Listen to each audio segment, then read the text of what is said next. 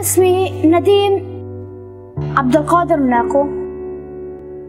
من الباب مدينة الباب. شغلي تلميع برادات شاي تلميع جميع أنواع المعادن.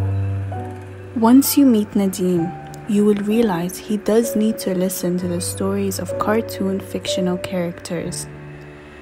Those stories that other children like to listen to, imagine and live the feelings through their superheroes. Nadeem himself is an inspiring child. Despite everything, he proves he exists.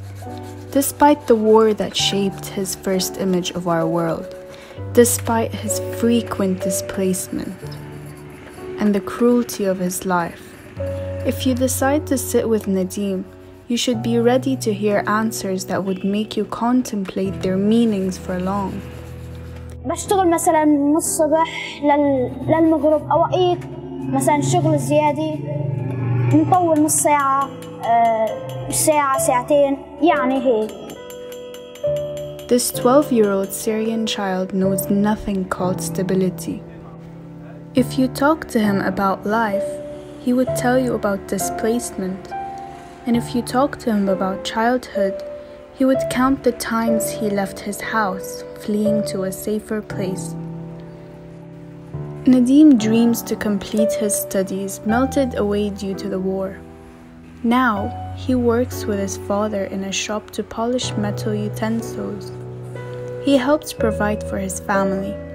Nadeem works long hours. Every day he gets exhausted.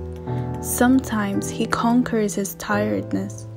In others, he surrenders to it, finishing the rest of the work on a worn out sofa. In Nadeem's life, it feels like nothing shines.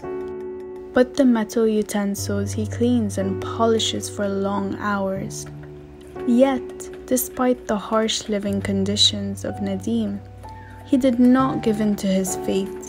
He is still determined to achieve success when he grows up, even if he continues his current profession.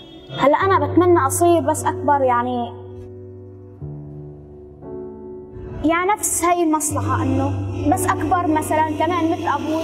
شلون جاب مثلا تبع ميتور تلميع؟ شلون جاب الحين شلون جاب طاولة مثلا عشان نشتغل عليها؟ شلون جاب يعني هيك.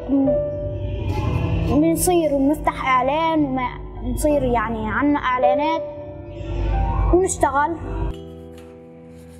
The world of Nadeem you saw is a glimpse of a common scene in the lives of millions of Syrian children.